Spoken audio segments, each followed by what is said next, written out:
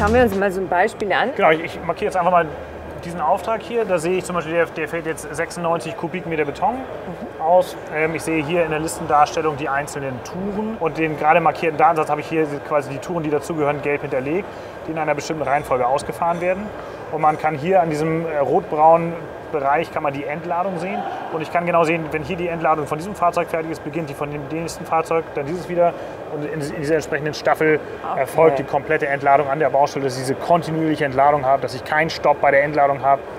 Wenn wir zum Beispiel hier ein Problem hätten, dass das stockt oder dass das zu spät kommt, Also erstmal wird es hier eine Verzögerung geben und dann würden Sie hier sofort eine Warnmeldung sehen, Achtung, ich habe hier eine Verspätung. Das heißt, wann immer ein Problem auftritt, kommt eine entsprechende ein Symbol und, und bringt mir eine Warnung. Ich habe es hier links zum Beispiel bei dem was Auftrag. machen Sie dann bei so einer Warnung? Sie kontaktieren dann den Fahrer und sagen, geben dem Anweisungen oder wie geht man damit um? Das ist ganz unterschiedlich. Also wenn ich jetzt zum Beispiel in einem späteren Verlauf eine Verzögerung hätte, die jetzt vielleicht erst in einer Stunde auftreten könnte, dann habe ich natürlich die Möglichkeit noch einzuplanen und kann direkt umplanen, den Fahrzeugeinsatz nochmal ändern.